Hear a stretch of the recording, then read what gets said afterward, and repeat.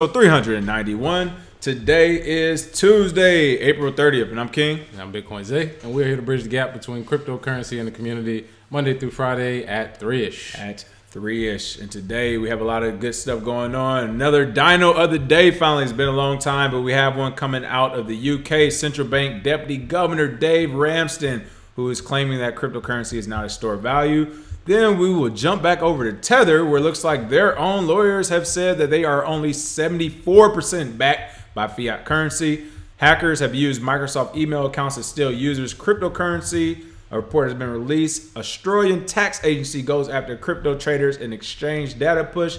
And last but not least, BitPay has partnered with Refundo to enable, that is right, taxpayers to receive refunds in Bitcoin. But first, before we begin, who was the free crypto coin winner of yesterday? Ah, yes. So our free crypto coin winner from yesterday is PFC Wells, aka Hey, Trek. What's going on, Trek? Thank you, thank you uh, for your answer to our question about Jaguar coin and whether or not you would use it. Uh, his response was that he believes it's a PR stunt. Uh, they're using it for you know more widespread adoption as far as marketing, and it won't be as used as they as much as they say. So thank you for that comment. Tend to think the same. A lot of big products use it for marketing, um, and then we'll send you that free crypto coin.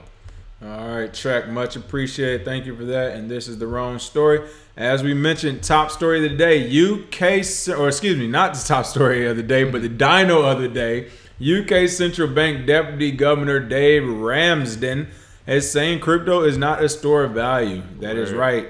Dave Ramsden, Deputy Governor of the United Kingdom Central Bank, has said that crypto assets are too volatile to be a store of value. A value. He made his comments in an interview with CNBC, published today.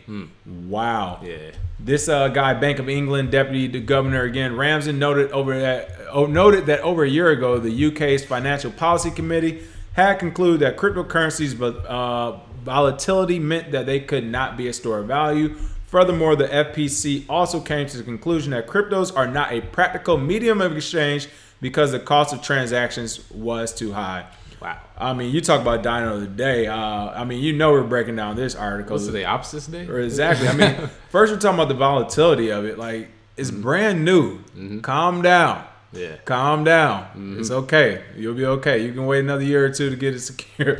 Um, but but the cost of transactions, where did that lie come from, right? Oh yeah, and one of the worst parts of his his explanation was the cost of transactions, which Bitcoin is notoriously cheaper than Visa, Mastercard, and other forms of payment that you may have. Even if you do a wire transfer right now, a ten dollar or twenty dollar fee from a bank is way more than you would ever have to pay uh, for a Bitcoin or a crypto transaction. So this is why Dave Ramsden or people like him get laughed at, get called dinos by us because for the most part they they use rhetoric to scare people. Their conclusion came at the end of a meeting with people we don't know. So we don't know who came to this conclusion. Right. And one of the things we want to make sure we put out there is that these people who are deemed as smart don't know what they're talking about with crypto most of the time. So don't know where he got most of this this from. And as a store of value, if you think about store of value, uh, let's say a generation, because that's what a store value means, like real estate, gold, whatever. Uh, Bitcoin's been around only 10 years, uh, and it's, it's grown over 720 million percent from the first time. Wow. That Uh, sounds like a terrible store of value. to yeah. I- that sounds terrible to me. 720 million percent, and I think It it's start- over it a started million. with 13 cent and Yeah. we're at 5400 and it reached the all-time high at Yeah, 20,000. I think it's a million percent since You don't want that. Yeah, No, you don't. You don't you want don't that. want Uh, since it hit mainstream exchanges, so as a store value, it's the best we've ever seen. But from his point of view, they don't think it's reliable because they don't own it. So you get this dinosaur of the day, much deserved, Dave Ramsden. Right. Uh, and it's funny. You look at some of these comments. People are saying too volatile. Wow, just like gold. Uh, yeah, as you said, another commenter said, yeah, that upward volatility makes Bitcoin a better long-term investment than a store of value. Compare Bitcoin to just about any investment over a three-year period, and not much comes close, especially close. if you. I think the only thing close to Bitcoin after a three-year period, um, I mean, would be another altcoin. Yeah. Like, honestly, Pretty some of the altcoins we saw do five hundred thousand percent in a year or, or whatever. Those would be the only ones. But uh, as you said, for this guy uh, to still, as you would say in our, what did you say in our year or in our in the Lord- year of our Lord 2019. We are still say- discussing Bitcoin as a store of value. It's we already we already killed that argument. It definitely is a good store of value. I always tell people if you keep it for at least three years, everybody has made money. Every single person. With that being said, we're gonna go ahead and give uh, what's his name, Dave Ramsden, the UK Central Bank Deputy Governor. Look at you, you're a second place guy. I don't know why we're listening to you. Let's give him that loud roar. We only listen to the real governors of banks. We don't know deputies around here. Give it to him one more Oh, time. there we go. There we go. Oh, he's screaming. I know. Oh, that's how they sound as they see Bitcoin price start to go up. You notice as the price goes up, the FUD's coming back again. Good riddance, Dave. Um, we don't need it. Except this time the FUD is also coming with article. I mean, it's like one moment there's FUD, and then the next moment there's a banker saying, "Yeah, we might just open up a JPM coin in the trading desk starting this week." So I don't know which one is it, banks. You guys are on the same uh, foot anymore. It looks like. Oh yeah. Quick shout outs. Uh, looks like that notification went out late because we saw people start to join as we were going over that first story. But what's going on, Christopher Ladd, Ryan Cooper, Coop DeVille in the house, uh, Tessa, hello, hello, Ali the architect, hello, good evening, going on, Cheryl, hello, Cheryl. How you doing?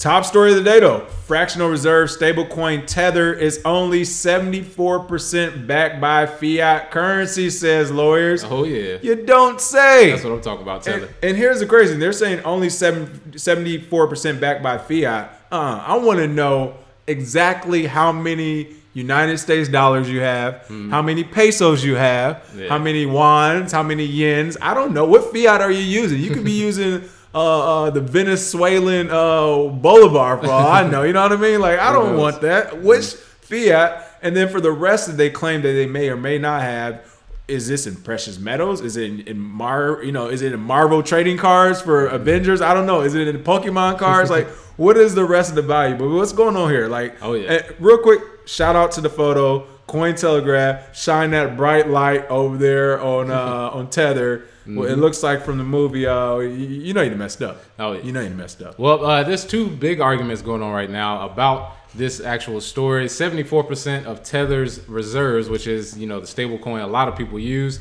This number 74% has come under scrutiny from some people that say, hey, you don't have it one to one backed. If you if everybody turned in their tether at the same time, it'd be worth 71 cent, I believe. The point of a stable Uh, coin. Point of a stable coin is to be stable. However, there's people on the other side that say every bank that has less than 110 million dollars only has three percent in reserves, and every bank over 110 million has 10 percent reserves. So at 74 percent, some people are saying that's actually better than banks. It's not a bank though. exactly. Like, what are we doing here? Exactly. This is crypto. It's crypto, and if this if- is crypto. if crypto, if crypto has to stay one to one, that's what some people think. But some people think, hey, if seventy four percent is good enough uh, to keep it stable, then what's wrong with that? So you have both of those arguments going right now. However, my argument is, don't say you're a stable coin.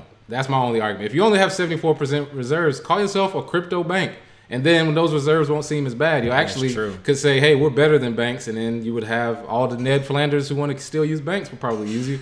But when you say it's a one to one stable coin, your white paper instantly becomes invalid. Everything from that point of view will scare a lot of people. But I don't think everybody will turn in all of their tether at the same time. No. I don't think they can from a technological standpoint. They would just cut it off at a certain Yeah, point. Tether wouldn't let. Um, but their lawyer has admitted to it, and unfortunately, that is enough for the New York AG to have a case because they can say, "Hey, you lied to your investors. If you had all this extra money to loan, it could have came because of fractional reserves." So Tether's in hot water right now. A lot of arguments going back and forth.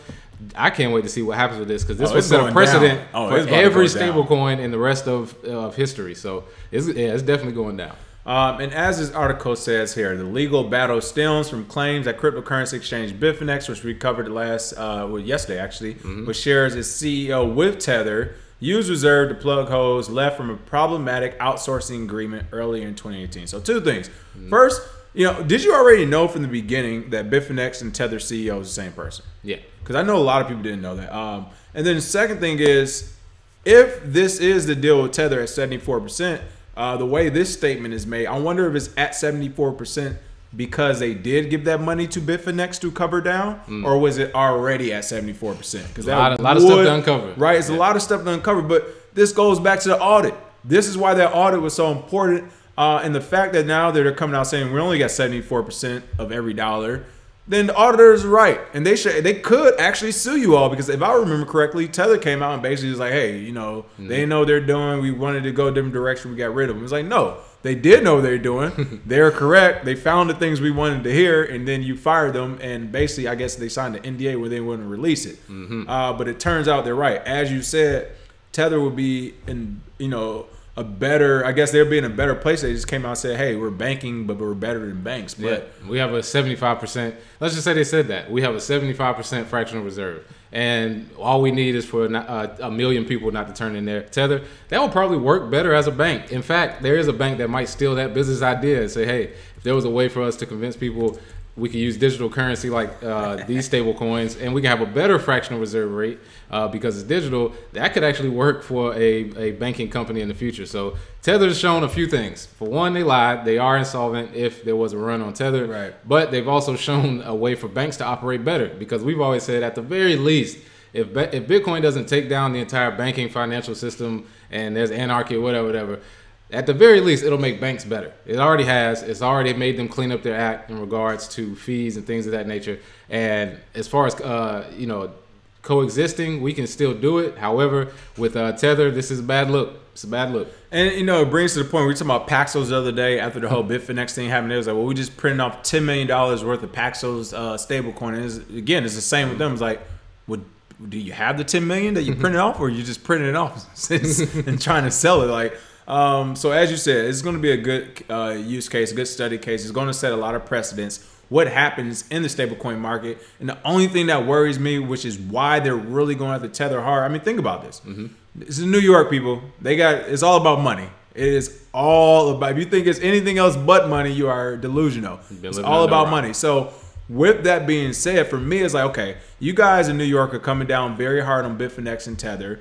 And the only clear reason I could think of is because you're already in bed with the likes of Gemini and Coinbase. Yeah, Paxos, uh, Paxos, all, all, those all those stable coins that just started coming on the market, specifically Gemini's, mm. uh, their stable coin. Like for them to succeed, they need to take out the person who had the first movers advantage, which was Tether, yeah. who has majority of the stablecoin market, which is Tether, who everyone knows, which is Tether. In order for all these other stablecoins, which we call it basically a billionaires ICO, mm-hmm. in order for these stablecoins to take off and for these billionaires, these bankers, and oh, these regulators and politicians to make all of their money back and get reelected, they need the likes of Tether to get out of business. Oh yeah. Period and fast. Got to get them out of here. Um, so I think that hey, while this may be true on Tether's end, Tether is certainly not the only one. A, not even close. Uh, yeah. and, and then B, there's a lot of nefarious. Again, we said this yesterday when we were talking about Bitfinex. I'm not looking at New York's Attorney General like some superhero with a cape. They're another villain, okay? Mm-hmm. It just happens that uh, it's just two bad guys fighting each other. So whatever, no dog in this fight. Mm-hmm. But I'm telling you now, um, you know, kind of as you say too they're going to set precedents with this thing. Yeah. And they're going to try to crush Tether and then say, see, this is why you all need regulations for us to protect you from these fake stable coins. Now, this yeah. Gemini coin that we back, yeah. though. Now, if somebody else trying to create a stable coin, see what happens. That's basically what they're going to tell people. So, right. That's unfortunate. Uh, and Ryan Cooper, I was laughing. Ryan Cooper said, first time I ever heard y'all screaming here because I just screamed. I was watching Stephen A. Smith. He gets some views. I tried something different, brother. All right. Everything's all for the show. Don't worry. I'm not running around real life screaming. Uh, but yeah, very interesting story. Can't wait. As you said, I can't wait to see what happens. It's going down. Now. It's going down. Uh, it looks like it's also going down in Microsoft. Hackers have used Microsoft email accounts to steal users' cryptocurrencies. It has been reported. Mm. Uh, looks like email services like Outlook, Hotmail, and MSN uh, have affected several cryptocurrency holders affected by a recent hack alleged that the hackers responsible stole their crypto, reported by Vice's motherboard. Mm. Um, first of all, if you are linking your cryptocurrency accounts to a Hotmail or MSN account, you have already been hacked. Oh man, it's those thing has been hacked for like five years, like all of them. Yeah. I don't care if you make a new one right now, just get hacked. All yeah. right? like, you're, you're on the hack. You're on the hack list. Yeah. Outlook, same with Outlook. Like when you at work trying to go on your crypto accounts, I know have people listening. Like yes, we actually are. Oh yeah, I get it. Outlook, Hotmail, MSN, there aren't those aren't the best services uh, to link, especially mm-hmm. as your primary account. And also, as a lot of commenters will say in this article, what happened to two-factor authentication. But mm-hmm. um, how did this hack happen? Uh, what's Microsoft, I guess, doing about it? Yep. And how did it affect so many people? Uh, well, one of the victims actually came out uh, on Tweakers, uh, which is a forum that you could use called Javon Rittmeister. He stated that his Kraken cryptocurrency account had been hacked and that he lost about one Bitcoin worth of, uh, of money, which is about five thousand uh, dollars. He wrote that when he visited Kraken, his password his password didn't uh, work, And then when he searched his emails in Outlook, he got a, a bunch of notifications that stated his login was changed. And come to find out, his login was able to get uh, penetrated because he had no two-factor authentication on his Kraken account.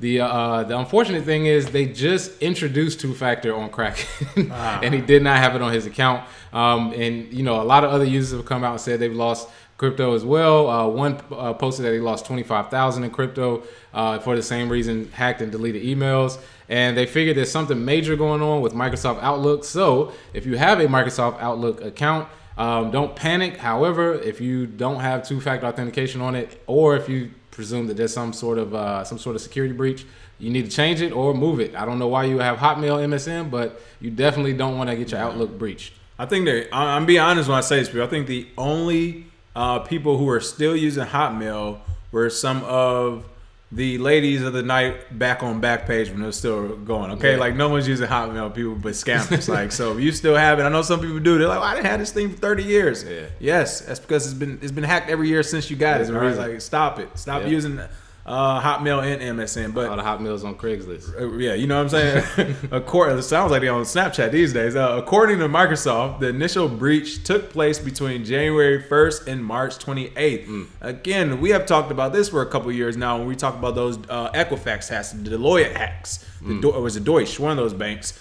Um, uh, you know, a few other big hacks that happened in the last year or two.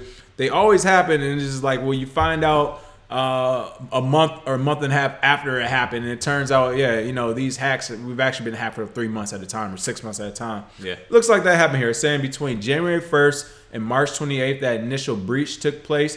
Though, according to others, it may have extended for six months. Hackers initially reached consumer emails via Microsoft, a Microsoft support agent account. So, uh, two things on this. You know, the, first thing is, as we said, you know, these hackers are sophisticated. They will get inside of a system like Microsoft or some of the bigger institutions like uh, Equifax when they did them, and they will literally sit there for six months, yeah. a year, two years. Some, I mean, if you have a real sophisticated operation, they will lay dormant for three to five years before they actually execute the hack or whatever they want to do. They'll just sit there and just get as much information and data as they can. Then once they feel like they have enough, then they'll make their getaway. So um, this one is saying maybe six months, and then it looks like they got it through a Microsoft support agent account. More than likely, this is a social engineering yeah. uh, attack. If yeah. it's going through Microsoft support, I mean, they probably went through admin over there, and they got one of their main accounts, which probably gave them access to a lot of other ones. Yeah, but. and it was non-corporate, so they probably right. tied in a non-corporate email with a corporate one usually that's that's a failure waiting to happen for a corporate uh, company. So Microsoft got to clean it up. Right, got to clean it up. Uh, and last but not least, about that initial statement, it looks like Microsoft told everyone that it looks like the hackers uh, they made an email statement to affected users, assured them that hackers may have access email metadata like context, but not the content of any emails or attachments. I'm not. I, I don't believe that. Yeah. If you're a hacker and you're good enough to get into Microsoft, or if you're a hacker and you decide to get into Microsoft, either way, uh, and you get access to emails, you're not going to just have metadata that's only content. That's not the way metadata works. Yeah, one, so. I, I, don't think. Yeah, I think they're just trying to lessen. right, yeah. They're, don't they're, worry, they didn't read all your terrible emails. And, right. yeah. they're, they're trying to see who's tech savvy from their email. They're like, look, you're still using Hotmail, we can tell you this. You're going to believe us because that's not true. So, uh, yeah, if you have one of those, again, Outlook, MSN, or Hotmail, it may be time to, uh, you know, rethink that a bit. All right, another big story. Australian tax agency goes after cryptocurrency traders in exchange data push. Mm. Wow. Um, what is, right? What is going on with this craziness? Oh yeah. So Australia's tax agency, the Australian Tax Office, will seek to contact cryptocurrency traders personally about tax issues as a part of a new data collection scheme. Officials confirmed in a statement today. The ATO, as it's called, is working in conjunction with the Australian Securities and Investment Commission, sort of like our uh, SEC, and they'll demand information from operations uh, at local cryptocurrency exchanges. So the data will be used to contact those traders, and they'll get a minimum of 28 days to explain the operations as they pertain to capital gains tax. So Australia basically hit up all the exchanges. They said, look, we want all the data, not some of it. We want all of it. Give it to us. We'll take that data, we'll find out who's using the exchange, and then we'll talk to them personally because we need our money. We basically are tired of waiting to see if you're going to pay capital gains. If we have, you know, thousands of people trading crypto, but we're only getting a few thousand in taxes, we want to see what's up. And I think this is the beginning of a larger scheme where Australia will start it and then another country will come out and Oh, do it bigger. They'll learn from them and then it'll it'll keep going downhill from there. So I think this is the road we're leading to with these mainstream exchanges and the data they're able to provide. When you give KYC, they can hand it right over to the government because they'll be scared out of business. And once they do that, uh, they can do with it as they please and they'll figure out your capital gains tax for you. Right. Um, I mean, this is a scary uh, precedent. Yeah, For one. I- and I think honestly, I wouldn't be surprised if the U.S. is actually behind this or working with Australia to use Australia as a test ground first because we do those type of things. Mm-hmm. Uh, but you know, as you said, traders will get a minimum of 28 days to explain the operations. I love how this write up calls it. Uh, you know these tax issues as part of a new data collection scheme. I like the word scheme here, people. It is. Um, I mean, here in the United States, I'm, I'm sure everybody's seen the recent stories about how Amazon's getting around not having to pay any taxes, uh, as well as other a couple other really big companies here in the, in the country. And it's just one of those things where, all right, like stop worrying about us. If you really need all this tax money, Yeah. you can literally go to like two or three people in every country and just get all that right back. Yeah. uh, I'm sure they haven't paid it, but.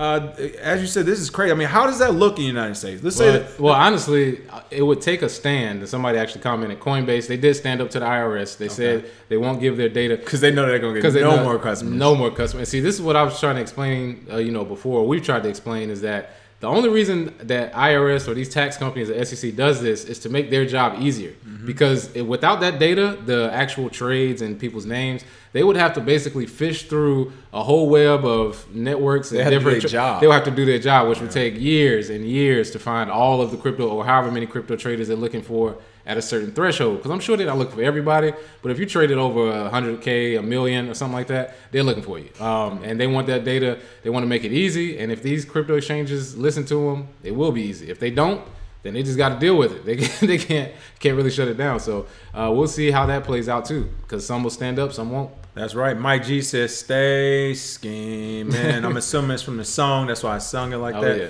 Um, but you know, imagine this though. How would this look? Uh, you know, in the United States landscape. Let's say the United States came out today. and said, you know what? We're going to go back. The last ten years, we're going through all these exchanges. We're getting these accounts, and we're going to give people 28 days. Like, I mean, wow. That would be like the that'd, be plenty of, that'd be plenty of time for me to go. Hilarious. hey, I got to go bed. Yeah, I'm going tonight. Yeah, Look, 28 days. Hey, what? That's plenty of time. They are uh, they're gonna start seeing our live streams. Gonna be like weird animal noises in the back, rain. Where, where y'all at? We in the jungle. Don't worry about it. Don't Yeah. worry about it. Uh, but that's pretty crazy. That's true. Mike G said Donald Trump crippled the IRS silver lining. Uh, so very interesting thing about that, Mike G. Uh, a few years ago, back in 2016, before uh, Donald Trump was actually elected into office, uh, we basically thought that would happen. And one of the things we told people were that this would actually be one of the best times for uh, businesses such as cryptocurrency businesses because of what he was going to do when it comes to politics and IRS and all basically everything he's doing right now as far as keeping everyone's attention on the executive branch. We're going to allow small businesses and new innovators to kind of sneak away and do what they want. We're seeing that in the marijuana business. Oh, yeah. Where all of a sudden, you know, government is not paying as close of an eye as it used to. Um, and again, I, you know, I think all this aligns the right way. Um, you know, it is aligning for cryptocurrency. Donald Trump, while he's smacking around the IRS, and they're doing, all- they're not going to have time to redirect and do this this way. I mean, it's hard enough to keep up with business as usual. Government shut down. People can't fill out tax forms or get taxes back. It's crazy. Oh yeah, and if Um, they really want to fight the Fed, that like it looks like they're doing right now, uh, that will be good for businesses as well uh, who use cryptocurrency. Right. Uh, Ryan Cooper said 28 days later, bend thy knee. Hilarious. I mean, listen, that would be a scare. If you all woke up and you know what's gonna happen on a Wednesday, Thursday morning, you can quote us on it because they always do their, you know, little uh, laws that we never have a chance to vote on. The laws and bills we never, you know, even decide on. They tell us Wednesday mornings or Thursday mornings. So don't be surprised you wake up one morning and they're like, uh, yeah, if you ever traded crypto, you didn't tell us about it. You got 28 days. so. Speaking of taxes, though, BitPay has partnered with Refundo to enable taxpayers to receive refunds in Bitcoin. What up? All right, Big Big Pay. We'll, We'll give, you one. it- We'll give it to you, Big. Yeah, give us a, all right, Big Yeah, Pay. yeah. You guys, listen, people. BitPay has done an awesome job. They just don't care about the little people in crypto anymore. They only No. want big institutions. Uh, but this is a big move. Well, well, actually, I will say they did do a great job because for corporations and for institutional people, they need this type of infrastructure to feel safe enough to enter the market. Because before 2015, if you wanted to open a company and pay your employees, do your taxes and your payroll, you could not do it in cryptocurrency unless you did it manually. You would literally have to be able to track everything and do your taxes yourself. BitPay entered the picture uh, after that, um, and they actually came in and had uh, payments in Bitcoin. Then we did the story where they actually allow you to pay your taxes. They partnered with TurboTax. Now all the way to Refundo, Wow. where you can actually get your tax refund in Bitcoin. Um, their new product is called Coin RT. It allows taxpayers to receive all or a portion of the federal and state tax refunds in Bitcoin through BitPay's payout. So it would be the same, like they're paying um, their regular check. It would just go to BitPay and they would give it to you in Bitcoin. So that's a good service for certain people. I know some people would definitely use some of their refund for crypto instead and wouldn't have to, you know, use an exchange. But there are some people that are like, well, if they're going full IRS tax accounting, we know where they stand. So good to see from BitPay, but very mixed reviews right now. Yeah, um, you know, and somebody just said it. Uh, Sergeant Crypto said, "Watch out, it's a trap." Oh yeah, Uh, I would say I believe you because when we talk about like perfect honeypot. Yeah, when they talk, yeah, really, when they talk about uh, when, we, when we went over TurboTax, we said the same thing because we know TurboTax. I mean, it's clearly in bed with the government. Um, but and as you said, BitPay has helped with crypto adoption, and I'll even throw them a bone. Honestly, I would say that the, the primary reason why they probably stopped uh, servicing or adding support for basically small operations, mom and pops, and the like is because uh, they don't have enough people. You know, we just went through a bear market. I'm sure they didn't have, no, you know, they're not about to hire a bunch of people and say we're going to service the institutions and the retail investors. And again, as we told you all before, the government does not want retail investors, i.e., mom and pops, i.e., poor people, uh, into crypto. They only want wealthy people and institutions. So I'm sure BitPay got that tap on the shoulder uh, where they were told the same thing. They're like, no problem, we'll go over here. Uh, and that's what they're doing. But as you said, the good thing about it is, you know, spreading the adoption. But um, as far as them, you know, doing the tax stuff and receiving Bitcoin, I wouldn't do it through BitPay, people. It's- I mean, it's not that big of a deal. And if you do do it, just know you have 28 days to bend thy knee, as Ryan Cooper Pretty said much, yeah. afterwards, uh, because that would clearly show the government. It's like, oh, so you definitely do stuff in Bitcoin. All right, we know for sure you at least got one in there. So Yep. uh, let us get it. All right. Other than that, what are we doing for the free cryptic coin today? Oh yeah. So for our free cryptic coin, our question about the tax refund uh, service we just stated, Refundo. Would you get a tax refund in Bitcoin? Would you allow part of it, portion, or all of it to be in cryptocurrency? Let us know what you think. Put that cryptic coin address, and we'll send the free coins to that winner. Sounds good. As always, thank you for watching. Have a happy Tuesday. Make sure you like, share, and subscribe if you have not already. And tag that bell right next to it to make sure you get these notifications. Absolutely. Cheers. Cheers.